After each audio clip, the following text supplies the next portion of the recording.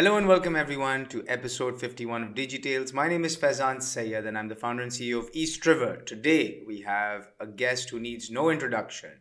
She is a famous actress, she is a philanthropist, and she's the founder of the Art House. The Art House is this very cool project she has started, which is basically focused on providing children the kind of education our schools don't provide. Sarwat Gilani is our guest for today.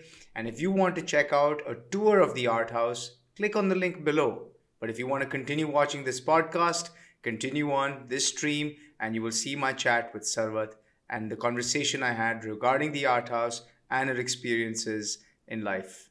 So stay tuned. What a nice yeah. tour. That I loved it. Aww. And uh, you know, I came by the other day and I what I loved about this space is that I didn't yeah. want to leave, to leave this space. It felt so inviting felt so relaxing. Yeah. And i think it's important like so a lot of the things the reason i'm passionate about this stuff is because a lot of the things you mentioned eh, are things that i myself have like gotten you know my daughter's involved in my, my wife and i um, you know with the coding part we're very serious that kids need to learn coding going forward. I taught them baking. So literally every saturday my the girls and now my son who's two years old they're in the kitchen mm-hmm. and they're baking up a storm uh, it means it's very difficult keeping the, the pounds off, but it happens. Um, you know, mm. reading, right. whether it's through audiobooks or even traditional reading, you know, all of these things are very important. But the biggest challenge is that a lot of this training is not part of the standard education curriculum. What you're doing steps yes. outside of the education curriculum. How do you think that needs to be incorporated in, or is this, or should this be a standalone experience for students of all backgrounds? Not at all, Faizan. I think this can be very easily incorporated. And in fact, it should be incorporated in the educational system because at the end of the day, you're sending your child to learn something new. And learning just doesn't have to be through books. A lot of learning all around the world, you see, like uh, Switzerland, Australian schooling systems, they are all hands on practical education they tell you how to fix a plumbing problem. They tell you they teach you how to go to a bank and open an account. Uh, they tell you uh, you know if uh, you have to build a house how do you start uh, on a basic level? So i think um, learning cannot just be derived to um, derived by uh, exams and tests and how many marks you're getting. That doesn't make you uh, and entirely equipped uh, with different tools. I think these are the tools that schools also need to um, use. And I think uh, Bayview Academy is one school because uh, my kids go there. And um, recently they've started after school activities.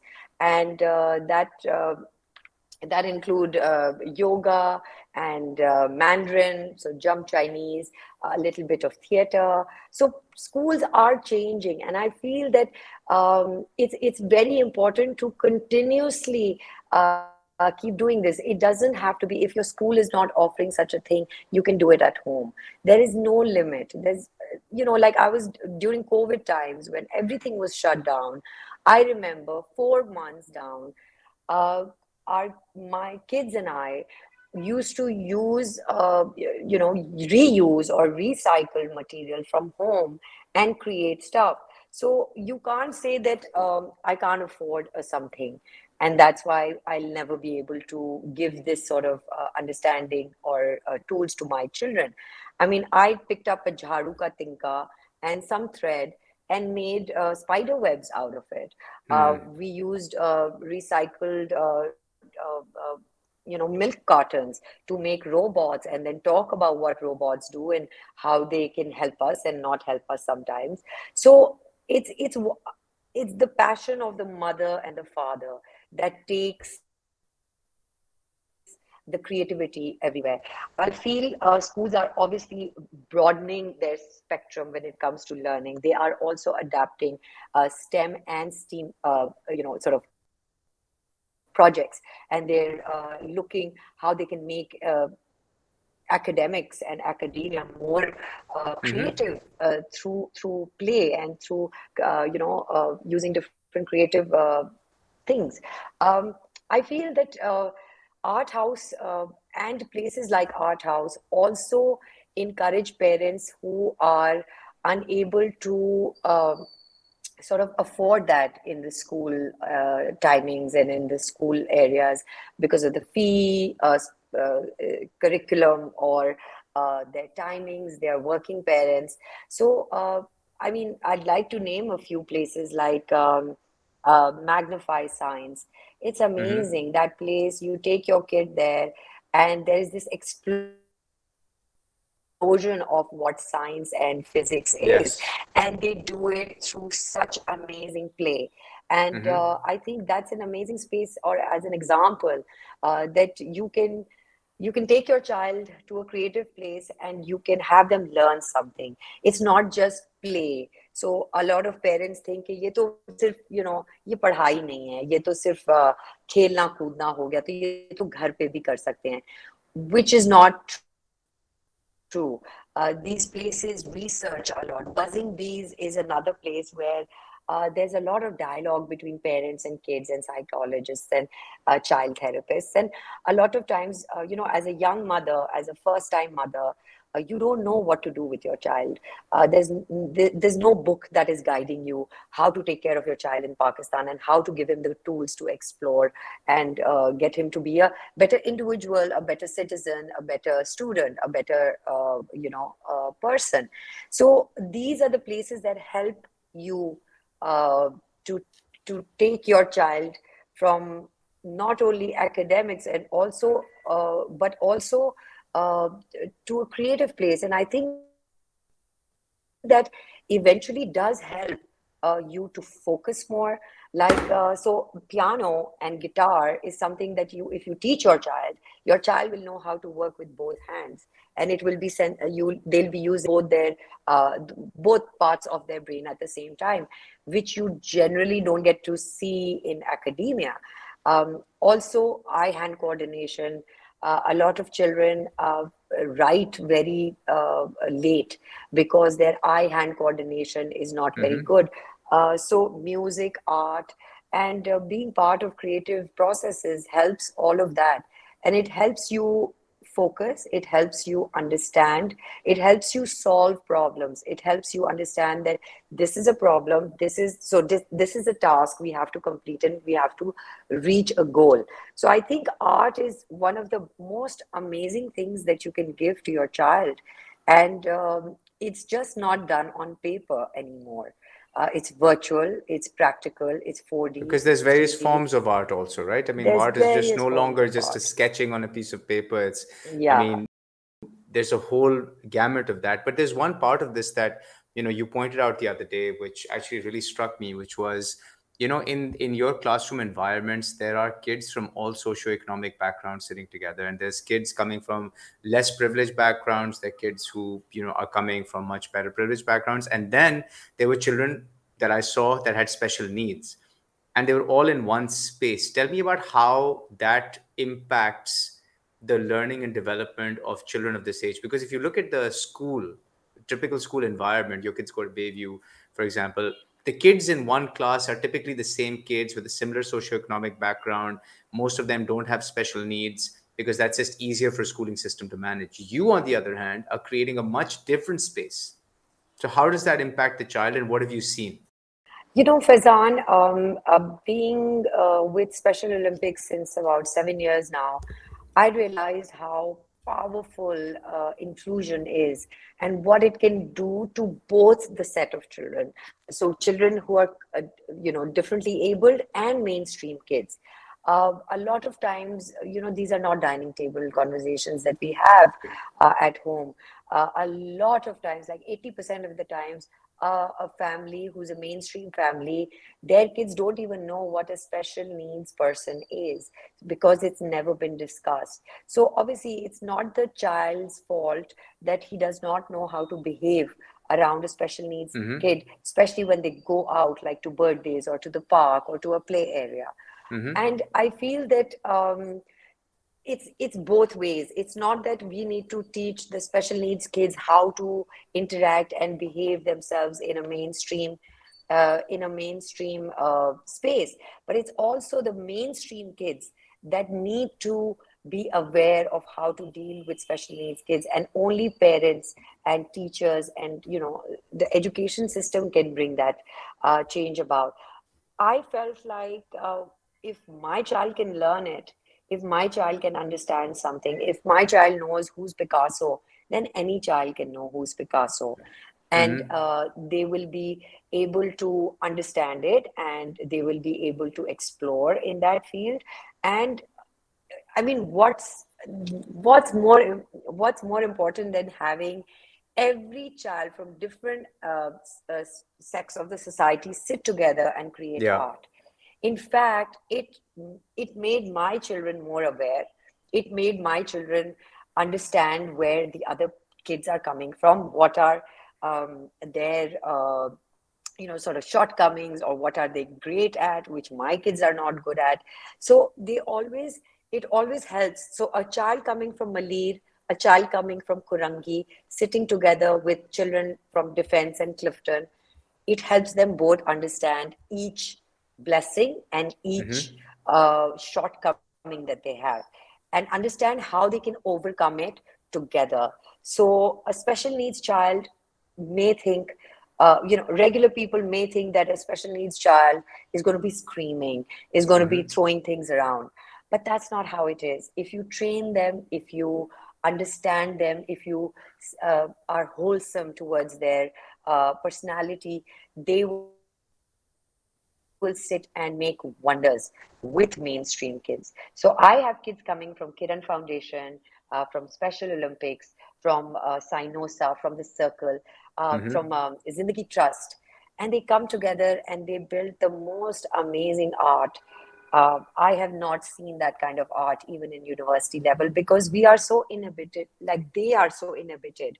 Uh, we are around rules and what to do and what not to do. They work from a very naive perspective. And that naive perspective is very refreshing for the mainstream kids because they are conditioned in a certain way they their minds work in a certain way and the other kids so like i remember i was uh, doing a talk at mad school and these kids uh, were there from Lyari and so i asked each one of them what they want to be, become and so mm-hmm. i thought that they'll be like a doctor an engineer a teacher mm-hmm. and whatnot Faizan, I was shocked. They wanted to be, one wanted to be an astronaut, one wanted wow. to be a civil uh, servant, uh, one wanted to be uh, a chemical engineer, one wanted to be an artist, and so much more. So it's really the limitations are in our heads, in our mm-hmm. own heads, what they can and cannot do. Once you put them together, once you put them in a room, you see the kind of um, you you see the kind of backgrounds they bring in uh, in that one room you see the kind of upbringing they bring in in that one room you see the kind of creativity that they bring in on that one table and that's just magic and it's the most uh, it's the most fun class actually because there's all sorts of energy in that one class and, and that's uh, amazing uh, because you're you're bringing all these uh, all these segments together and you're creating this this really unique experience for these kids. But you know, one of the challenges I'm assuming that you face is you know if you're bringing kids from less privileged backgrounds. I mean, obviously there's an affordability problem. Uh, you know, and how do you convince the parents, which you know is a whole different ball game as well. How do you work around fundraising for something like this? Because you know you need to get more of those children here to experience things like these because their schooling system is probably not providing this, and this is the only place they get for that kind of freedom of expression. So how how do you go about fundraising? So Faizan, we have a Karze Hasna program, um, which is very very close to my heart, and uh, our special needs kids, our underprivileged kids, our um, uh, autistic kids, they all are in that Karze Hasna program, and all the facilities that Art House, provides uh, is all free for them. Um, I understand that you know. So I'll I'll give you a percentage. So I have twenty percent of mainstream kids, and seventy percent, eighty percent of uh, you know the Karze Hasna program kids. Oh wow, it's that big a split, huh? It's uh, it's that big a split, uh, because there's less opportunity. So I have collaborated with you know uh, people like Sabrina uh, Sabina Khatri, uh, right. with Shehzad Roy. to send their kids and whoever I can grab a hold of. I see a new organization, I I go and get in touch with them. I say, you know, send your kids over because I think it's that that's what's helping me run the show really. Yeah. It's the other way around. It's it's it's the kind of barakat that i get from those yeah. duas and you know yeah. that love that uh, is is keeping art house alive. And then obviously we have our uh, very very um, you know big hearted donors um, we have some people my friends who help me adopt a child. So they adopt a child uh, for a month uh, annually or or, or uh, you know six months or, or, or an entire year. So mm-hmm. quarterly or annually. And uh, we try and make do with whatever we can. Um, but yes we are we are trying to uh, reach out to world bank usaid and uh, the government to to sort of help us in whatever way they can. Uh, but obviously that's a whole process. But till then i think um, we're just uh, we have our website we have our donation form um, a button over there that says donate now. So hopefully okay. people use that more often. Um, but yes i think uh, uh, organizations like art house uh, do need help because um, you know there's also a thing where uh, the governments have become very strict uh, with the ngo business because a lot of people have uh, sort of taken the money and you know they yes. fled but um, so that that puts us and us our kind of organizations uh, in a rough spot uh, but then you know one it's just assumed and uh, you know one has to work hard and one has to be at it. And uh, you know if you're passionate about something like this which i am it started 3 years ago and i'm still here. And uh, i am not stopping. So i think uh, Allah was रास्ते निकाल देता है किसी ना किसी तरह Faizan. But we are once we spread the word more we'll get more donors who can adopt our children for the karze Hasna program. So hopefully we'll be able to get you some donations. People watching this can check out your website. I'll add the yes. I'll add the link at the end of this as well and and donate. And you know it was funny like when I came by the other day and I was looking at the art on the walls. Uh, you know I've been reading a lot about NFTs and you know i've been talking to a lot of people and one of these hmm. ideas popped into my head is you know you can create these kids have created some wonderful art and they've expressed themselves in a very unique manner. You can actually convert this art into digital art sell that digital art online and the person who's buying that art gets a piece of digital ownership of a one of one and the money that they pay ends up with you and you end up funding a kid's education. Now you know whoever's buying that little piece of digital art that's created by the kids has a sense of ownership and a sense of buy-in into that child's progression and then they can keep buying that kid's art or art from the thing or the school. But i think there's there's something there. No one's really explored the nft space in pakistan in that sense. But from an ngo from a community service perspective i think mm. there's something that you know could be done potentially. Uh, you know we'll have to figure out yeah. which audience to target yeah, Faizan, I, uh, yes, you're absolutely right. Um, and I remember having this conversation with you outside of Art House also. Uh, we met at some place, and I was so fascinated by the idea that somebody like you, who's uh, into health and uh, you know marketing and digital marketing, uh, is interested in helping kids like these. So when we did have, I had a meeting with somebody from Binance, and um, I thought it would be so, so wonderful to create a space, a virtual space for kids where uh, my underprivileged kids, my special needs kids, um, uh, my kids, autistic kids could create art and make money.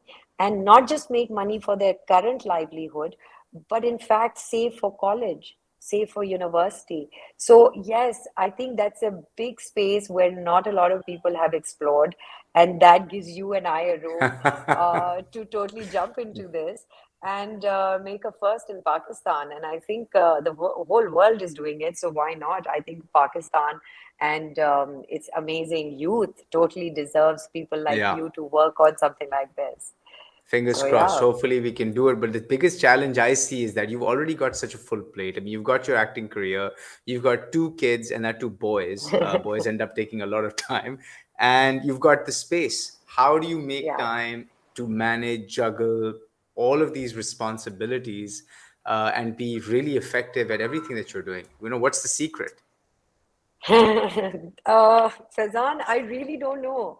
A lot of mothers ask me this question also, and they're hating on me. They're like, "You're there at school. You're dropping your child. You're yeah. picking him up. Uh, you know how how do you do it?" I feel, Faizan, uh, it's been seven years that I've been doing uh, philanthropy work, and that gives me a lot of barakat in my time uh, you know i don't know how it happens. I think I, I i'm so motivated to be to give the best to my children so i'm there. I'm so motivated to uh, give best my best and whatever i can collect for children who are not even mine. But obviously as a community uh, a member of the community i want to give back. I feel my fame uh, the millions of eyes and ears I have around me who are looking and watching me and hearing me need to hear uh, stuff. So I'm very responsible for all those eyes and ears to be dedicated to good causes. And um, unbelievable causes are here. Like Special Olympics Pakistan is here since 35 years. Mm. And I, I felt as an ambassador, I needed to bring the word out. Not a lot of people know about it. Only some donors and a certain class knew about the SOP ball or, or stuff like that. So I feel jitni bhi baat kare wo kam hai. And uh, I work with Indus Hospital, so I'm their ambassador for three child-related uh, departments. One is the club foot, uh, hearing impaired, and prosthetics. And I feel whenever I go there and I do art with the kids, itni duaएँ मुझे मिलती हैं uh, and it's all, all, all, all of these blessings, you know, around me. I sometimes go to a tarot card reader and he's like, you have people looking after you. Yeah. Who are these people? And I'm like, That's I amazing. don't know, man. I don't know. So I think uh, Faizan ये तो uh, वो कहते हैं ना उंगली काट के शहीदों में नाम लिखवाने वाली बात है दुनिया में पता नहीं क्या क्या कर रहे हैं you know so if we are able to do only 1% of yeah. 1% of our time and make that change uh, bring that change in in people's lives make their future it's totally worth it.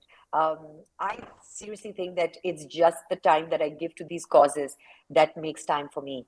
Uh, art house is my baby. Uh, i've been working on this since three four years now and it's just happening. I'm meeting such amazing people along the way like yourself right. and other people who understand the cause and they say you're walking the talk. So right. they want to be part of it and they they help me in the process and they help me achieve whatever my targets and goals are. So i think it's a, it's it's a, all a very collaborative thing. You can't do it alone. I have a lot of help. I have help at home. I have help here. And i have people in the community who are helping me. So i think once we all come together we can create such amazing work whether that's uh, on a personal journey or uh, you know want to be part of other people's journey and make that better. So it's it's a teamwork Faizan. I don't do this alone. I can't take the credit alone. No that's amazing. I mean I I you know just a few weeks ago I'd read this line that if you want to run fast, you run alone. If you want to run far, you run together. And I think this concept of having a community, having people with you, if you have this really, really uh, uh, interesting journey of where you want to impact lives or i call it the sphere of influence you know? If as long as you those people who you interact with directly every single day uh, whether it's five people or 50 people if you're running a company or 500 people maybe you're running a very big company yeah. if you can impact those people in a positive way and their lives improve once they come into contact with you i think you've done your part you know? Because that's the Absolutely. only way it works and i love the concept of you know because you give back your time has much more efficiency because you give back and i think that's such a great concept that a lot of us uh, forget that by giving we actually receive in turn and Absolutely. in your case you're actually receiving in ten time. folds in yeah. ten folds Faizan I cannot tell you how it is and I feel that you know one needs to never stop and be like I've reached my goal a top of a mountain is is the bottom of another. You know the yeah. fastest place the fastest way to reach somewhere is slowly. So yeah. uh, you know i have my own race. I'm not in a rat race with anybody else. I feel everybody is doing such fantastic job. And at the same time i want to also create well this is a first and i haven't shared this with anyone. Let let mm-hmm. me share it with you. Amazing. i want to make an app. I want to make an app and it's it's going to be called special pakistan. You know there is no directory for special needs parents and kids. So i want to make an app and call and and have uh, education where you can send your kid in inclusive schools health wise where you can take your child for therapy or for physical uh, therapy uh, marriage is a big big problem when it comes to special needs uh, kids and adults uh, there's no uh, there's no auntie rishte wali auntie mm. you know checking special needs rishtas mm-hmm. jobs there are we barely know where to go for a job uh, right. when we have a special needs child. That's so true, so, yeah. You know, so I feel that uh, जितना भी करें कम है I found out कि थोड़े कुछ लाख रुपए लगते हैं मैंने कहा you know once I have some saved I will make that app and call it Special Pakistan because a first time mother, and I've interviewed a lot of parents from Special Olympics and SINOSA, and I know that the kind of uh, the kind of response that they get in the community just because they have a special needs child it starts from home. You know that that response that uh, you know uh, negative response starts from home. It's the in-laws it's the family mm-hmm. then they go to school. They are sh- they're shunned by the school. 100 schools they go to they are allowed or welcomed in one. Uh, they have to go to 10000 doctors to understand that this doctor is the only doctor who will help your child. So, why should the parents go through that painful journey just because they have a special needs child? They can go directly to these people who are able to help them. And why haven't we thought about that? Because there are unbelievable people working individually for this cause, but we're we're unaware of our our, our you collective know, efforts. each other's uh, each other's efforts, a collective yeah. efforts. So there needs to be a spectrum, a place, or a platform where we get all of this information all for free. You know? Well, we'll well. Here's the offer. We'll make it for you. I mean, we've got a team that does really? actually digital work. All you need to do is give us the data, and we'll put the app together for you. Oh. And that'll be our way of giving to your cause oh. because I think it's a fantastic cause. I think it's amazing what you guys are doing, um, and we'd no be happy way. to assist. Yeah, yeah, yeah, yeah, yeah. totally. So, so that that's done. It, yeah. Hundred percent, hundred percent. Okay. I I want to change okay. gears and I want to ask you one question because yeah. you've you so you're doing so much on this front, right? But recently you've done this really interesting piece of content called Churails, which was completely out of the box, completely different. Uh, it did yeah. not run. It could not run on our local broadcast networks because of the kind of content it was so I have a two part question. Number one, do we see you in more such content? And are Pakistani audiences ready for this? I mean, wasn't there like some sort of a reaction? Oh, you know, how can you? Because they're used to seeing you a certain way on TV in your traditional roles. Here, you're doing something engaged in a completely different role, in a different piece of content, targeting a completely different audience. Is our market yeah. ready for this? Uh, you know, Faizan, when we were making Churails, I mean, I got really lucky uh, with the team, uh, Asim uh, Abbasi and his entire team, wonderful people. And, uh, you know, uh, that doesn't happen so often. 20 years of my career, I've played the Mazloom se Sakti Bhi Aurat. and then eventually I come with this, you know, with yeah. vengeance. and, and I mean, an actor is an actor because he tends to put himself themselves in different shoes and that's mm-hmm. the best part about being an actor uh, but at the same time um, I felt like when we were making Churails, we thought we'll have to really go underground and we had we have to uh, live in these uh, burrows really because we'll be uh, attacked and uh, uh, people will not like what we did. But you know, to our surprise, we had 80% of love and 20% of criticism, and we would take it, take that any day. That's um, amazing. so that made us realize, and this was the Pakistani audience, um, and this was the time where ZEE5 was available to download mm-hmm. here in Pakistan. So a lot of people watched it. There was a huge buzz. People thought it was binge-worthy, uh, you know, mm-hmm. content, and they literally saw it over the weekend. Um, and when we, when we got that feedback, we've got the love on social media and uh, you know uh, electronic media.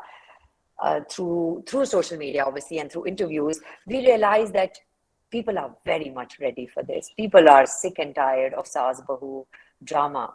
But the only problem is there is only Saas Bahu drama. Uh, you know, that's their only choice. So if, un, until unless you don't give people a choice, how will you find out that, you know, they are starving for uh, mm-hmm. newer, fresher, uh, different kind of content? So we were able to tag that and we realized that, yeah, not just Pakistan, but the entire world is going through this and they want to see different content. We're tired of the same, you know, 26 episodes premise is whether the girl is, you know, good enough to get married to a boy. Right, right, exactly. And whether she's good enough to be accepted by the in-laws. While the while while life in Pakistan has also moved people uh, women are more career oriented uh, women are more focused women have goals. Women want to achieve those goals. Women's goal is not just to get married. And that's not the end of the uh, end end goal. It's much more now. And i feel that a lot of dramas are also being made like that now. Um, they are picking up uh, more career oriented issues.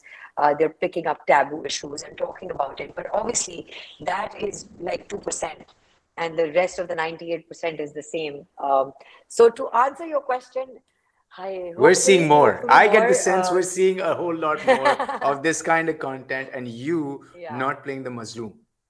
Yeah, yeah, I'm not the Mazloom. I'm the Zalim now. You're the... you know, so I'm the bully. Uh, but you see, um, uh, Qatil Hasina Ke Naam is another uh, yeah. very uh, noir kind of uh, noirish uh, thing that we did with ZEE5. And uh, that was an unbelievable, very uh, women centric uh, uh, content. And so it's just unfortunate that our own productions, these are all Pakistani productions, but they're not being seen in Pakistan. And that's, that's the only sad bit. That is so sad because we're being appreciated globally and here we are not even appreciating our own content our own people. Um, speaking of which joyland was taken to cannes. It was selected and it was awarded as best jury prize jury's choice. Now wow. and like yes that, you were at cannes is, recently in, in i think a couple of months ago for exactly this. Yeah, yeah. so uh, a story about a, a small family from uh, lahore uh, from gawal mandi Mm-hmm. You know, how different could that story be? It is the truth. It is about us. It is what we go through in the society. But um, hopefully, we're waiting for it to come down in November and be in our cinemas. So I feel our stories are wonderful, uh, Faizan. Uh, we just need to believe in ourselves and each other and not pull each other down. Because at the end of the day, I think we're a very subjective nation. We only think about ourselves barely and rarely we see people in Pakistan who are thinking for a collective cause, for a collective change, a collective mindset that needs to be embraced by everyone. And I feel that uh, slow and steady, we're trying. And as long as we're trying uh, every day, we'll get there. We'll get there somehow. You just said right, the too. fastest. you just said right, the fastest way yeah. to the top is actually the slowest way. Uh, the fastest way to reach somewhere is slowly. Is slowly, the top okay. of a mountain is the bottom of another. The top of yeah. the mountain. Okay, got it. Those are my yeah. two. I'm going. I have a wall right here. of, I call it golden nuggets, and I'm down to oh. like 15.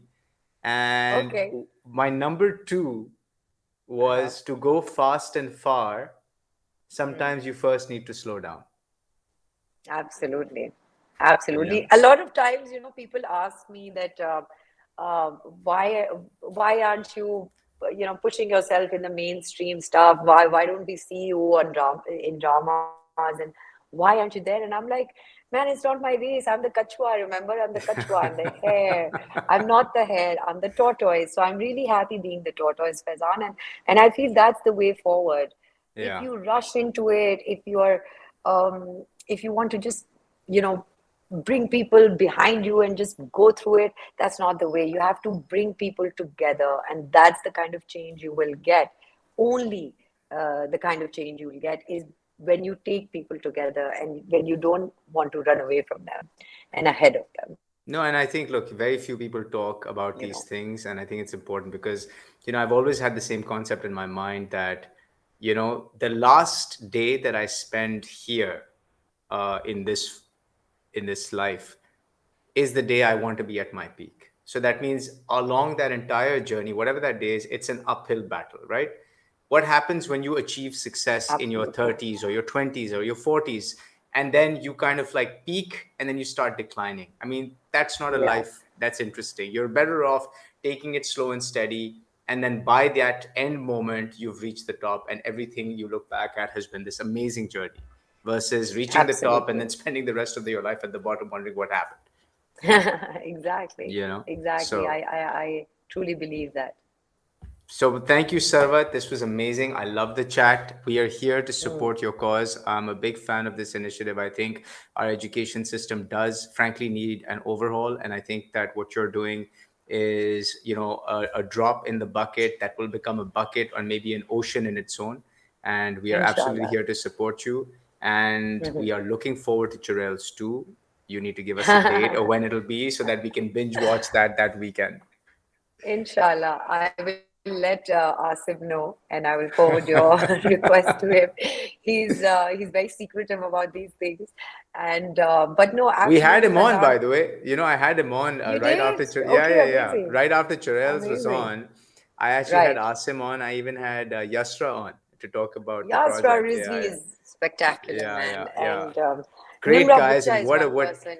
and Nimra was interesting too in that project. But I loved Yeah. Asim's story about how he went from being a banker into this project and the entire Yes. experience he had.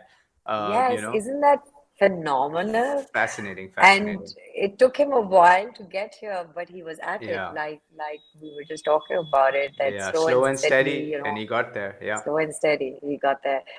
So hopefully next year, Terence too. Uh, no yes. promises. Do not quote me. Asim's gonna kill me. it's But between you uh, and me yes, and everyone else who's more watching. content So, absolutely. It's you know no pressure. all right. Thank you, thanks, Thank you for the time. Thank you for doing what you do, Faizan, because uh, you know connecting people and just spreading the word out in itself is uh, is a big big deal. And you do it so beautifully, and you're part of amazing causes. And I see you around uh, supporting these causes. And there, you know, that Thank Karze. Hasna is also from your Thank end. you. So thank you so much. Thank you. And thank you everyone for tuning in and check out the Art House's website. We'll put the link below and do donate and support the great cause and support Sarwat's initiative. All right. Take care. See you soon. Bye bye.